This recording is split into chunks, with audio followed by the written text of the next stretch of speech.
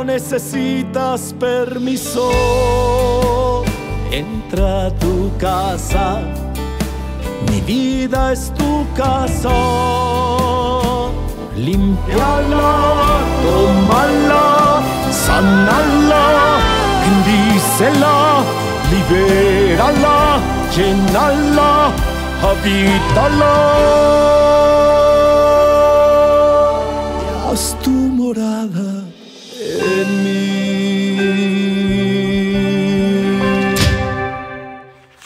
Queridos hermanos, hagamos resonar en nuestra alma el Salmo 126. Cuando el Señor cambió la suerte de Sión, nos parecía que estábamos soñando.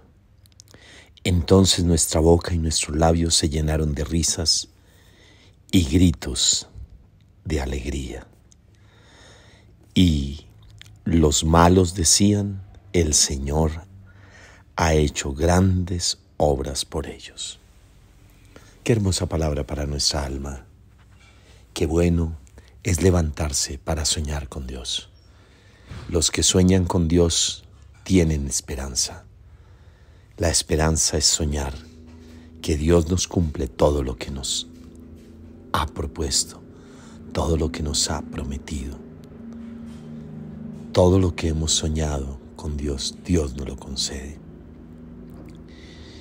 Y esos sueños nos traerán risa y gritos de alegría. Y hasta los malvados, el infierno va a reconocer que tenemos un Dios que obra grandes prodigios en medio del pueblo que le ama. Con esta palabra abrazo las almas de nuestros seres queridos que han muerto. El alma de mi papito Luis Ángel Orjuela Guerrero. Alirio Calderón Chetuán. Por los difuntos de la familia Moreno Adrián y Ángel Adrián, bebé no nacido. Beatriz Consuelo Cifuentes de Pardo, nueve días. Marcos Garavito Barrera, 17 años. Campo Elías Franco, tres años. Marta Esperanza Forero Beltrán en su natalicio. Y te pido, Señor, la salud de los enfermos, la libertad de los oprimidos por el diablo, la provisión de los que pasan necesidad. Por los proyectos de Franci Yamile Gallego Montañez. Y te doy gracias por un año más de vida de Aurora Agudelo, 91 años. Felicidades en Manizales. Dios la bendiga, la Virgencita la proteja. José Ángel Lozano Leal, muchas felicidades. Emilia González, muchas felicidades. Nelly Patricia Muñoz Velasco, muchas felicidades. Y con estos sentimientos de gratitud con el Señor, iniciemos esta celebración que preside nuestro querido Padre Alex. Qué alegría cuando me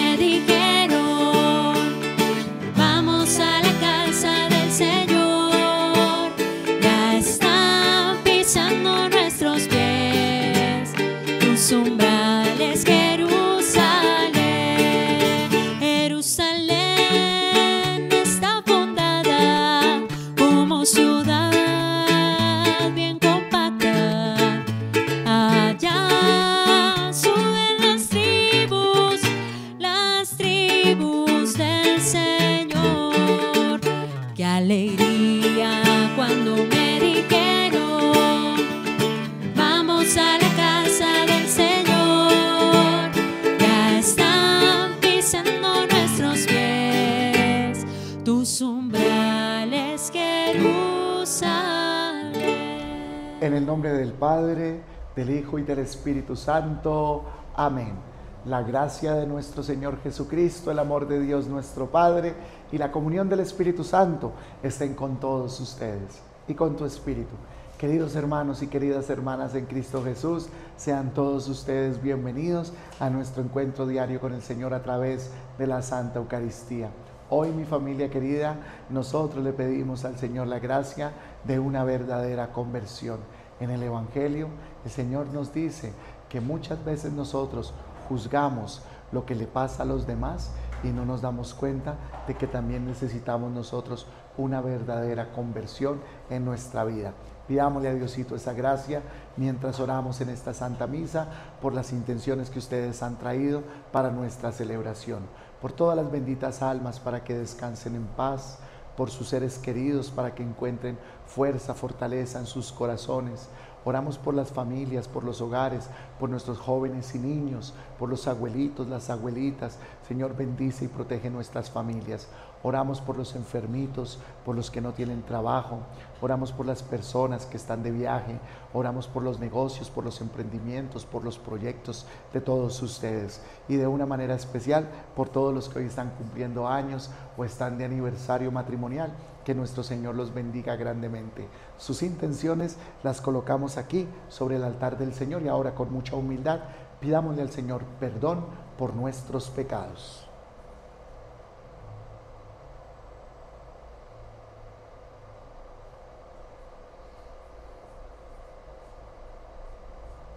y digamos juntos, yo pecador me confieso ante Dios Todopoderoso y ante ustedes hermanos, que he pecado mucho de pensamiento, palabra, obra y omisión, por mi culpa, por mi culpa, por mi gran culpa. Por eso ruego a Santa María, siempre Virgen, a los ángeles y a los santos y a ustedes hermanos, que intercedan por mí ante Dios nuestro Señor, y que Dios Todopoderoso y Eterno tenga piedad y misericordia de todos nosotros, nos perdone el Señor nuestros muchos pecados y nos lleve a la vida eterna. Amén. Señor, de nosotros. Cristo, ten piedad de nosotros. Señor, ten piedad de nosotros. Oremos. Dios Todopoderoso y Eterno, te pedimos entregarnos a ti con fidelidad y servirte con sincero corazón. Por nuestro Señor Jesucristo, tu Hijo, que vive y reina contigo en la unidad del Espíritu Santo y es Dios por los siglos de los siglos. Amén. Escuchemos con atención, mi familia querida, la palabra del Señor. Lectura de la carta del apóstol San Pablo a los Efesios. Hermanos, a cada uno de nosotros se le ha dado la gracia según la medida de don de Cristo. Por eso, dice la Escritura, subió a lo alto llevando cautivos y dio dones a los hombres. Él subió, supone que había bajado a lo profundo de la tierra, y el que bajó es el mismo que subió por encima de todos los cielos para llenar el universo. Y Él ha constituido a unos apóstoles, a otros profetas, a otros eva- evangelizadores, a otros pastores y maestros, para el perfeccionamiento de los santos, en función de su ministerio y para la edificación del cuerpo de Cristo, hasta que lleguemos todos a la unidad en la fe y en el conocimiento del Hijo de Dios, al hombre perfecto, a la medida de Cristo en su plenitud, para que ya no seamos niños sacudidos por las olas y llevados al retortero por todo viento de doctrina, en la trampa de los hombres, que con astucia conduce al error, sino que realizando la verdad en el amor, hagamos crecer todas las cosas hacia Él, que es la cabeza, Cristo, del cual todo el cuerpo, bien ajustado y unidos a través de todo el complejo de junturas que lo nutren. Actuando a la medida de cada parte, se procurará el crecimiento del cuerpo para construcción de sí mismo en el amor. Palabra de Dios, te alabamos Señor. Vamos alegres a la casa del Señor. Vamos alegres a la casa del Señor. Qué alegría cuando me dijeron, vamos a la casa del Señor. Ya están pisando nuestros pies tus umbrales, Jerusalén. Vamos alegres a la casa del Señor. Jerusalén está fundada como ciudad bien compacta. Allá suben las tribus, las tribus del Señor. Vamos alegres a la casa del Señor. Según la costumbre de Israel, a celebrar el nombre del Señor. En ella están los tribunales de justicia en el palacio de David. Vamos alegres a la casa del Señor.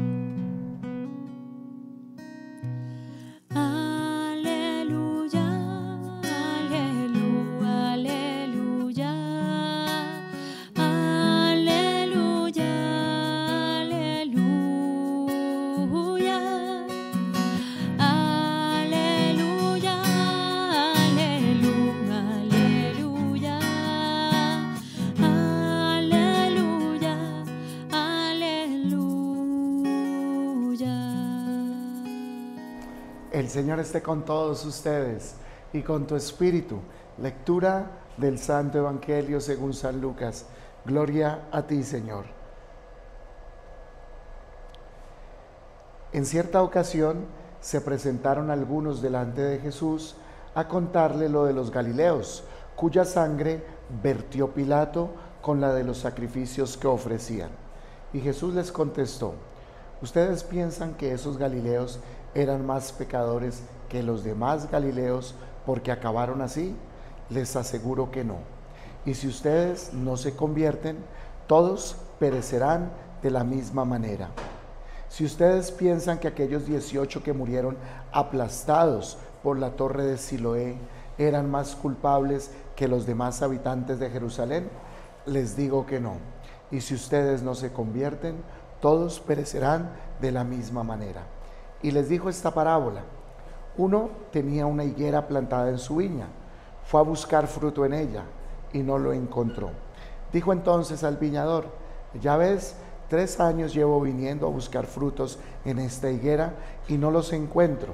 Córtala, ¿para qué va a ocupar terreno en balde?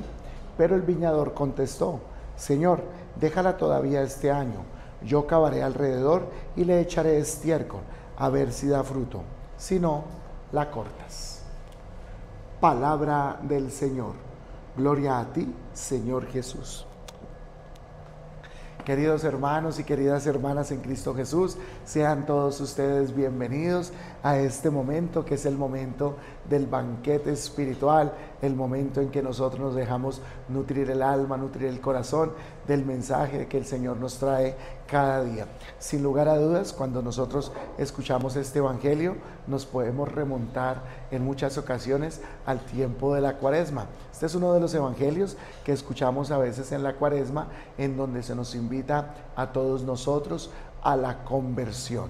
Sin lugar a dudas, como en, el, como en la primera lectura que acabamos nosotros de escuchar del apóstol San Pablo a los Efesios, nosotros, dice el Señor, hemos sido dados, se nos han dado unas gracias para la edificación del cuerpo de Cristo, que es la iglesia. Escuchamos en la primera lectura, Jesucristo es la cabeza de la iglesia, nosotros somos su cuerpo y el Señor nos ha dado a todos como un lugar en ese cuerpo de la iglesia.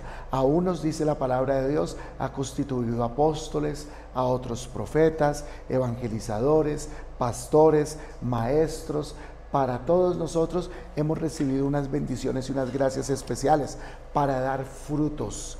Porque cuando uno no da frutos, entonces va a decir el Señor, córtenlo y échenlo afuera.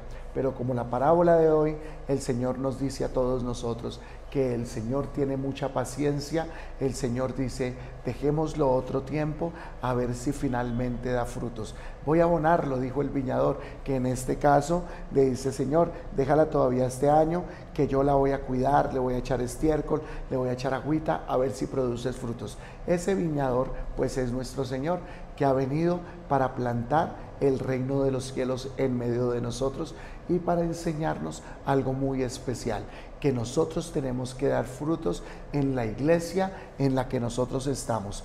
Todos nosotros somos bautizados en la iglesia católica y como bautizados tenemos que dar frutos. El Señor quiere que los demos.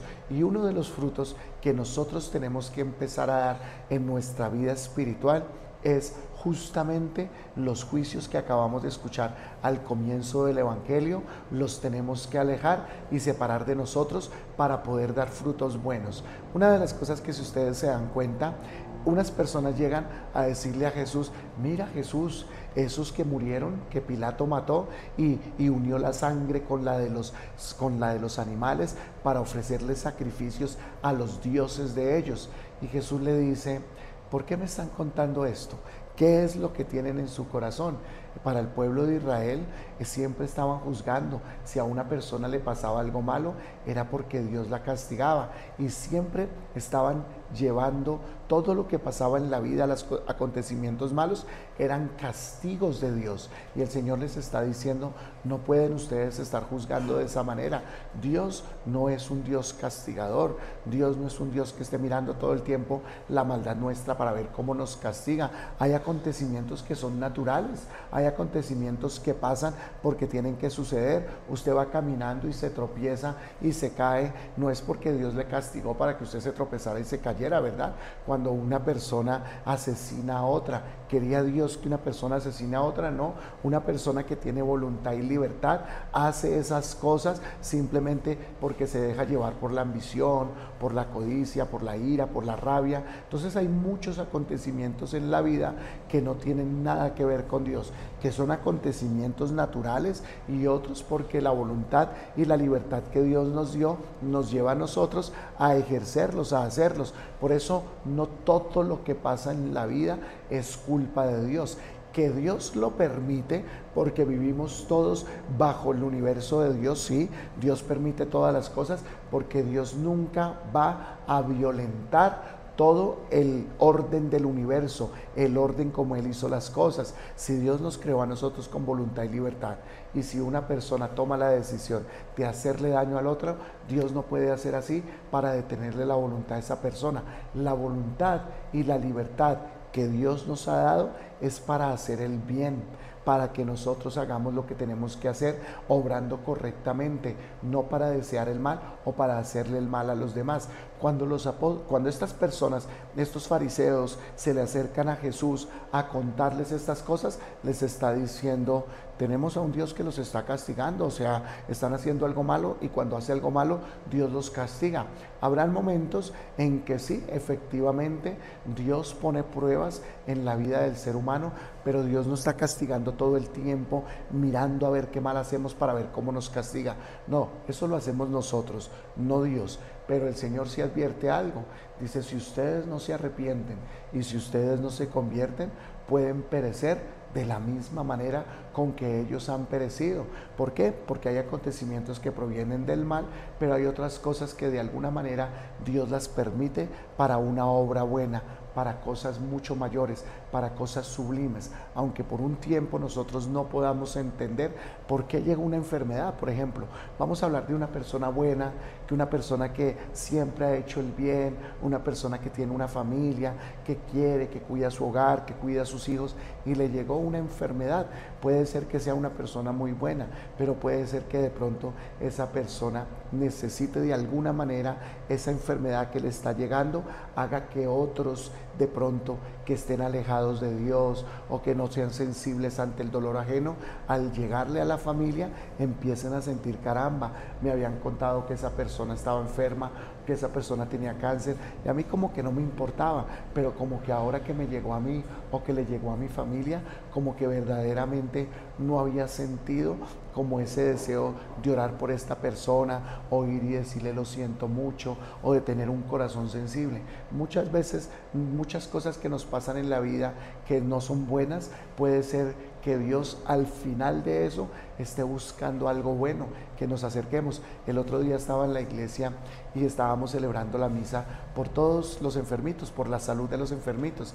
Y yo decía, de pronto, ¿cuántos de ustedes antes de que, no de que no tuvieran esta enfermedad, de pronto no venían a esta iglesia, de pronto no buscaban a Dios, estaban todos metidos en las cosas del mundo y todo eso, y Dios lo habían dejado de lado, pero con una enfermedad que les llegó y que estaba la iglesia llena de enfermitos, yo decía, de pronto, ¿cuántos de ustedes esa enfermedad hizo que ahora ustedes estén aquí buscando a Dios? O de pronto su propia familia, al ver una mamita enferma con un cáncer, un papito enfermo de los pulmones, de los riñones, del hígado, una leucemia, ¿cierto? Todas estas cosas, cómo todo eso ha unido a la familia y se han acercado muchos a Dios. Entonces Dios de alguna manera permite muchas cosas negativas que, nos, que puedan pasar en la vida mía y en la vida de las personas que yo amo para buscar un bien mayor. Yo siempre digo que analizando la palabra de Dios y desde el punto de vista de la palabra de Dios, todo el mal que de alguna manera hay en el mundo y que fue metido por culpa de Satanás y que Satanás quiere que cuando una persona esté pasando por un momento difícil reniegue, que, que critique, que juzgue, que, que, alce su voz delante de Dios. Si es verdad que usted existe, ¿por qué permite que mi mamá se me enfermó, que yo me haya enfermado? Que el mal que quiere que pase eso, Dios está cogiendo todo ese mal que fue metido en el mundo por Satanás y lo está transformando. Todo el mal, toda enfermedad, todo dolor, todo problema es también para mi salvación. No podemos juzgar que lo que le pasa a una persona sea porque la persona es culpable o no. Hay personas muy buenas que les pasan muchas cosas, pero son justamente también para la salvación de esa alma. ¿De qué le sirve a una persona ganar el mundo entero si llega a perder su alma? ¿De qué nos sirve a nosotros tener salud, bienestar, si de pronto vamos a vivir alejados de Dios y de pronto no nos vamos a salvar? Por eso muchas veces Dios permite muchas de estas cosas negativas en la vida para nuestra salvación y para la salvación de todas las personas que están a nuestro alrededor. Los frutos que tenemos que dar entonces es uno pensar primero que todo lo malo que pasa en esta vida no es obra de Dios. Es lo primero que reconoce un alma que ya Dios empezó a hacer algo bueno en su corazón reconoce que el mal no proviene de Dios. Entonces le pasó esto algo malo a esta persona, así ah, es que esa persona se lo merecía, porque como esa persona no estaba con Dios, no, Dios no actúa así. Sí, yo también la palabra de Dios lo, lo hemos hablado y hemos dicho que el Señor dice en la palabra de Dios, es un hombre necio o tonto el que no construye su casa sobre la roca.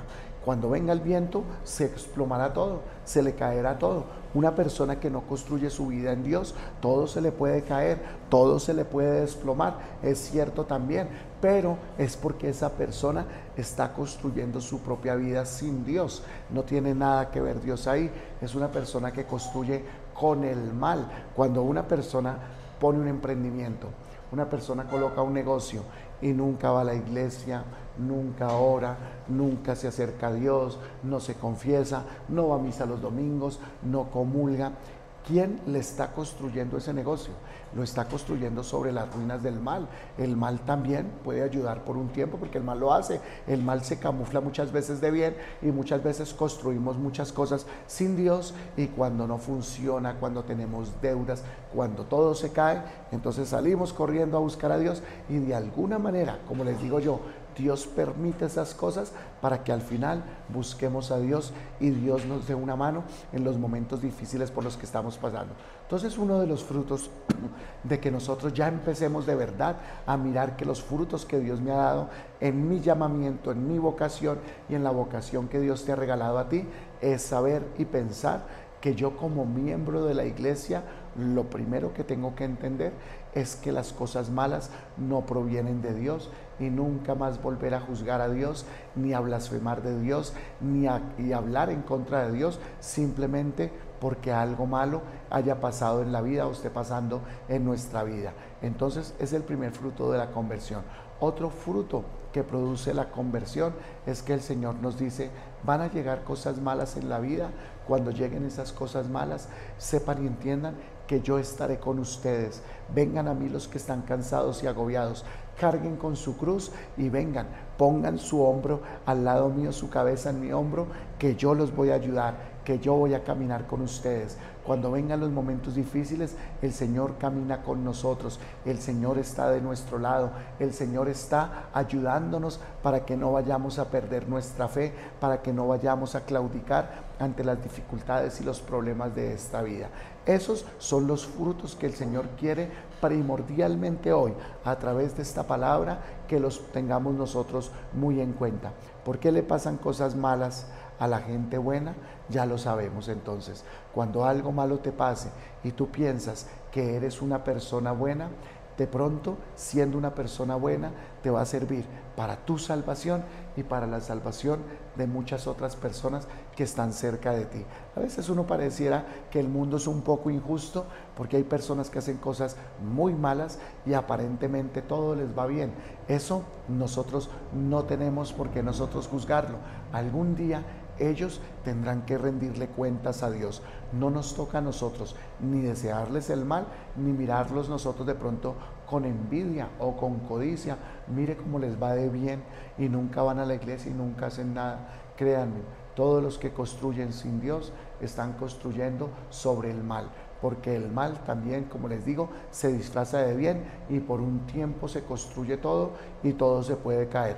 O por otro lado puede ser de que muchas veces empezamos con Dios y muchas veces terminamos sin Dios. ¿Qué pasa, por ejemplo, en un hogar, en un matrimonio? Se casan, vienen donde el sacerdote les da la bendición y nunca más vuelven a la iglesia, se alejan completamente de Dios. Aquellos que empezaron con Dios pueden terminar completamente sin Dios, en separaciones, en, cierto, en abandonar el hogar, en dejar el matrimonio, porque es que esto no es solamente de construir con Dios y dejar a Dios de lado o de construirse un Dios porque tampoco nos va a servir. Esto es de constancia, de perseverancia. Esto es de construir con Dios y permanecer con Dios siempre. Y eso es algo muy importante y no olvidarlo. No se le olvide que todos los que empiezan a construir con Dios, el demonio los va a querer atacar, el demonio siempre va a querer atacarnos. Cuando el Señor dijo esto hoy, cuando el Señor dijo, ustedes piensan que aquellos que murieron de esta manera o fueron aplastados por la torre, ustedes creen que eran más pecadores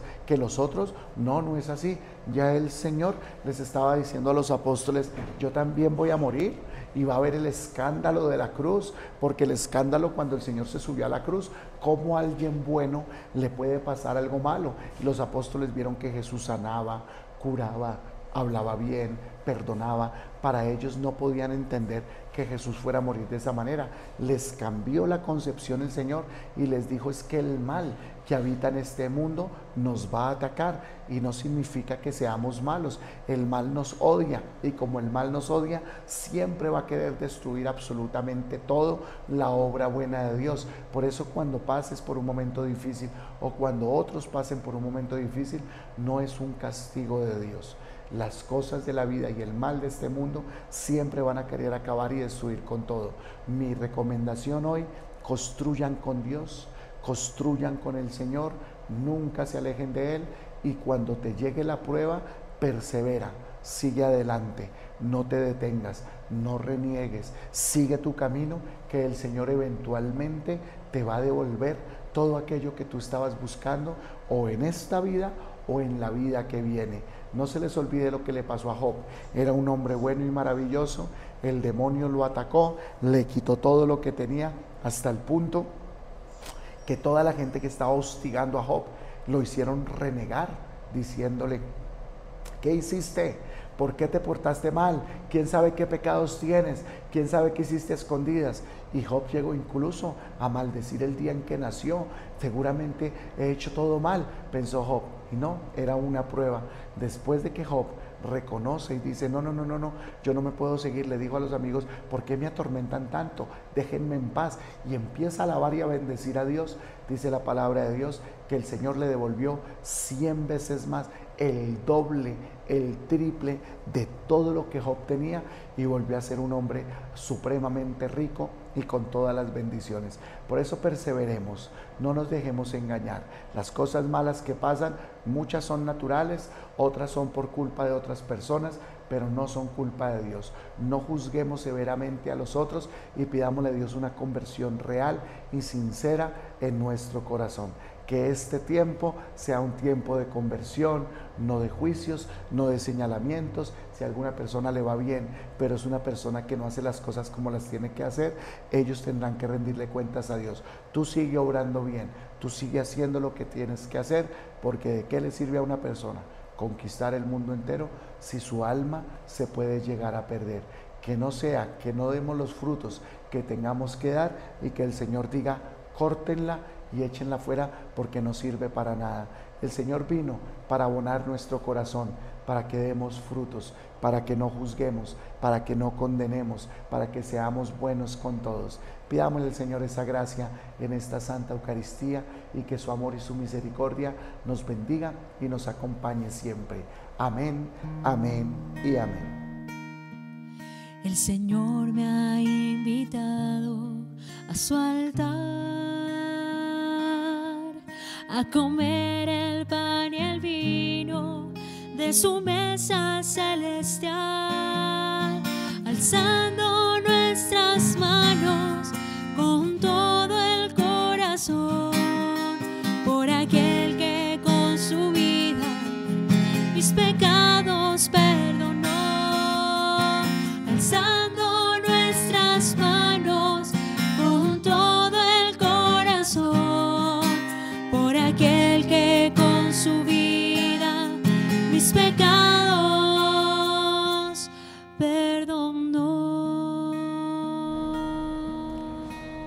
Bendito sea el Señor, Dios del universo, por este pan y por este vino, frutos de la tierra y del trabajo del hombre que recibimos de tu generosidad y que ahora te presentamos. Ellos serán para nosotros pan y bebida de salvación. Bendito seas por siempre, Señor. Acepta, Señor, nuestro corazón contrito, nuestro espíritu humilde, que este sea nuestro sacrificio y que sea agradable en tu presencia, Señor Dios nuestro. Lávame, Señor, de todos mis delitos. Límpiame, Señor, de todas mis culpas y de todos mis pecados.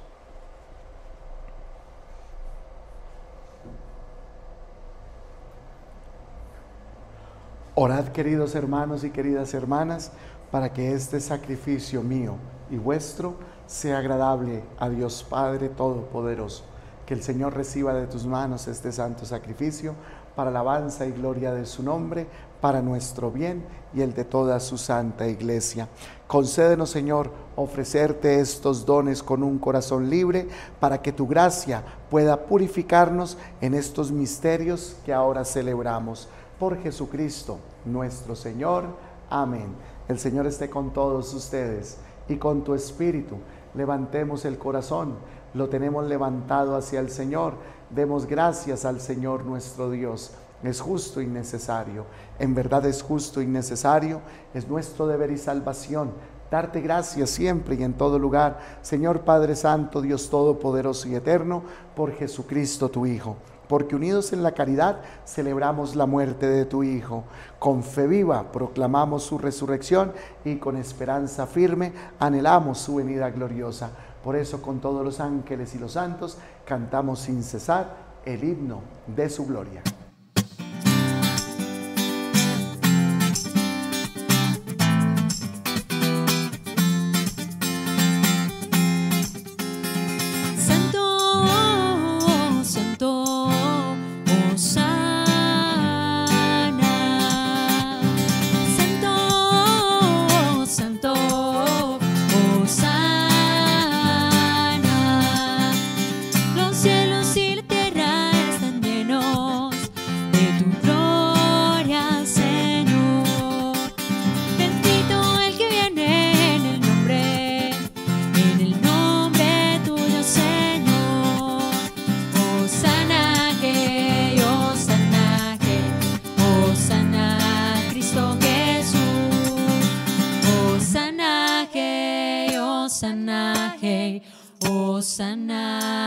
Cristo Jesús. Y santo eres en verdad, Señor, fuente de toda santidad. Por eso te pedimos, Señor, que santifiques estos dones con la efusión de tu Espíritu, de manera que se conviertan para todos nosotros en el cuerpo y en la sangre de Jesucristo, nuestro Señor, el cual, cuando iba a ser entregado a su pasión, voluntariamente aceptada, tomó pan. Dándote gracias, lo partió y lo dio a sus discípulos, diciendo, Tomad y comed todos de él, porque este es mi cuerpo que será entregado por vosotros. Señor mío y Dios mío, te alabamos y te bendecimos, te adoramos te damos gracias, Señor.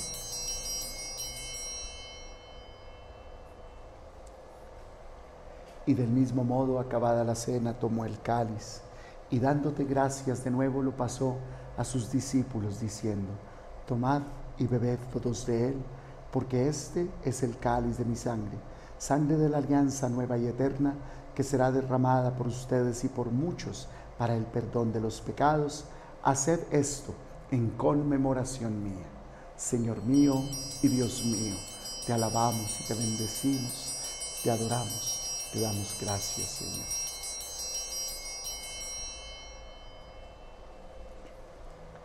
Y este es el sacramento de nuestra fe.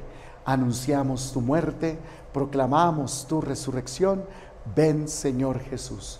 Así pues, Padre, al celebrar ahora el memorial de la muerte y resurrección de tu Hijo, te ofrecemos, Señor, el pan de vida, el cáliz de salvación, y te damos gracias porque nos haces dignos de servirte en tu presencia. Te pedimos humildemente que el Espíritu Santo congregue en la unidad y en el amor a tus hijos aquí presentes en esta Santa Eucaristía.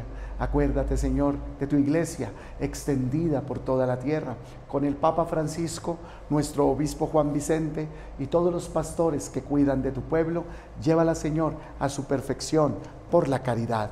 Recuerda a nuestros hermanos, Señor, que ya partieron con la esperanza de la resurrección y de todos los que han muerto en tu misericordia, que pedimos en esta Santa Eucaristía, Señor. Admítelos a contemplar la luz de tu rostro. Ten misericordia de todos nosotros y así con María, la Virgen, Madre de Dios, y San José, su castísimo esposo, los apóstoles y los santos, y cuantos vivieron en tu amistad a través de los tiempos, merezcamos por tu Hijo Jesucristo, compartir la vida eterna y cantar tus alabanzas. Por Cristo, con Él y en Él. A ti, Dios Padre Omnipotente, en la unidad del Espíritu Santo, todo honor y toda gloria por los siglos de los siglos. Amén. Y mi familia querida, le pedimos a nuestro buen Dios que siga tocando nuestro corazón para que cada día nos convirtamos verdaderamente al Señor. Todo lo malo que pasa en esta vida, no se les olvide. Uno de los principios de saber que ya tenemos a Dios en el corazón es que no culpamos a Dios por las cosas malas que pasan en esta vida. Y segundo, todo lo bueno que nos pasa en esta vida también es la obra de Dios. Eso es reconocer que Dios actúa en nosotros. Por eso le pedimos al Señor la gracia de una verdadera conversión, de entender que las cosas malas que pasan, pasan porque tienen que pasar. El demonio nos ataca, el mal existe en este mundo. Por eso pidámosle a Diosito la gracia de una verdadera conversión de corazón. Padre nuestro que estás en el cielo, santificado sea tu nombre, venga a nosotros tu reino, hágase tu voluntad en la tierra como en el cielo. Danos hoy nuestro pan de cada día Perdona nuestras ofensas, como también nosotros perdonamos a los que nos ofenden. No nos dejes caer en la tentación y líbranos del mal. Líbranos de todos los males, Señor, y concédenos la paz en nuestros días, para que, ayudados por tu misericordia, vivamos siempre libres de pecado y protegidos de toda perturbación, mientras esperamos la gloriosa venida de nuestro Salvador Jesucristo. Tuyo es el reino, tuyo el poder y la gloria por siempre, Señor. Señor Jesucristo, que dijiste a tus apóstoles, la paz os dejo, mi paz os doy. No tengas en cuenta nuestros pecados, Señor, sino la fe de tu iglesia. Y conforme a tu palabra, concédenos, Señor, la paz y la unidad. Tú que vives y reinas por los siglos de los siglos. Amén. Que la paz de nuestro buen Dios esté con todos ustedes y con tu espíritu. Allá en sus casitas, por favor, dense un gran abrazo de paz.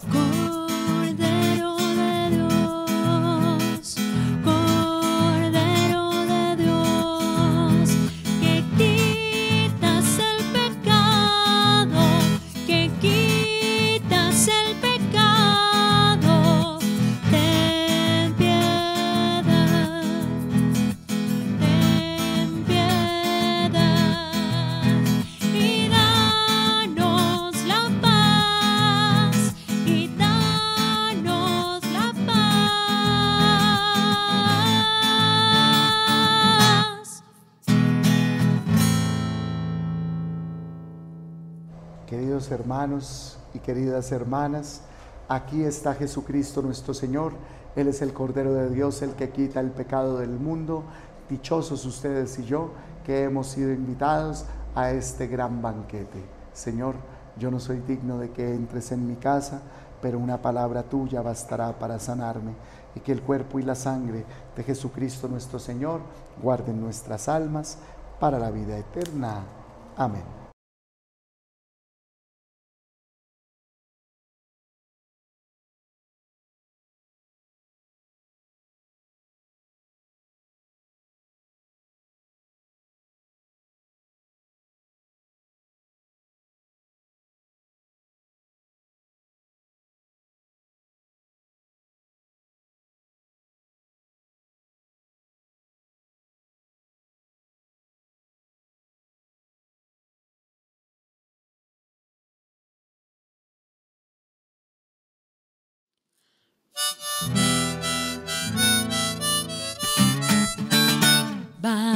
Vamos a bendecir al Señor, nosotros los hijos de Dios. Vamos, vamos a bendecir al Señor, nosotros los hijos de Dios.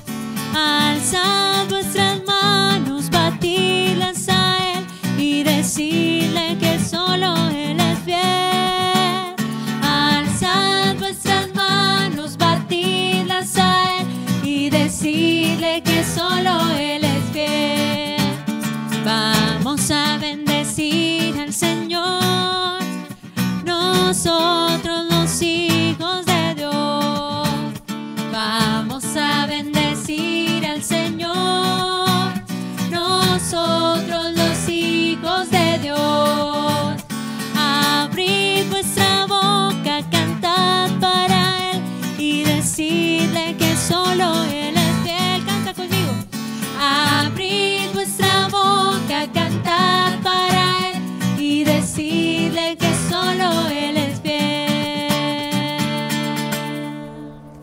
Oremos.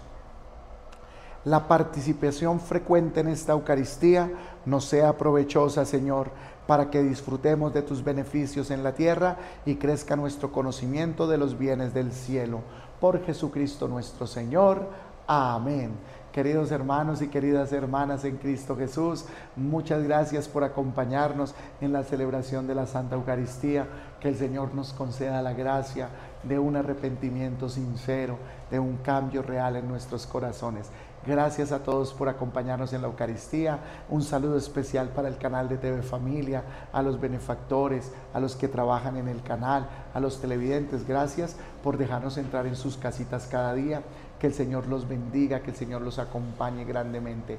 Un saludo especial a todas las personas que miran la misa aquí por el canal de YouTube. Un abrazo muy grande también para todos ustedes. Suscríbanse a nuestro canal dándole clic a la campanita y ayúdenos a evangelizar enviándole el link a todas las personas que ustedes quieran.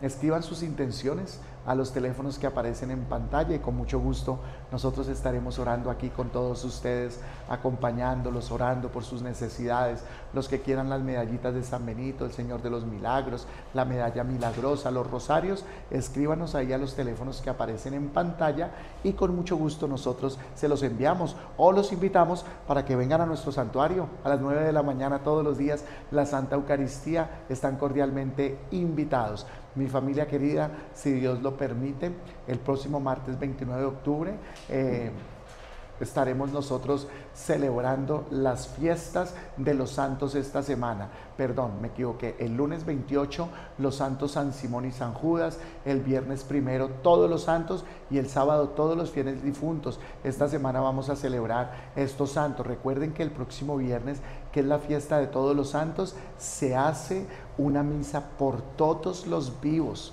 Es la misa en que todos los santos oran por nosotros aquí en la tierra, por eso oramos por salud, oramos para que nos vaya bien, por las familias, por los hijos, por los hogares, por los emprendimientos. Y el 2 es la fiesta de todos los difuntos. Nosotros oramos por todos los que están en el cielo. Es una misa muy especial por los difuntos y vamos a prender una velita aquí por todos ellos.